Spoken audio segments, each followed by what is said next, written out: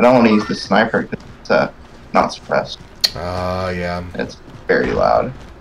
Behind us. It's not very far.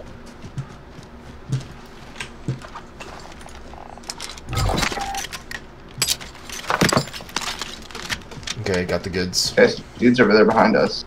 I'm coming back over here. Oh. You do? On top of the gas station. If you can just kind down. of, sent to the gulag. They'll fight for a chance to Okay. deploy. I'll try to come back soon if you can stall.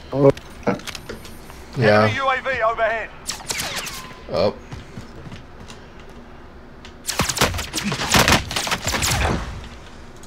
Teammate has been I want him coming. redeployment.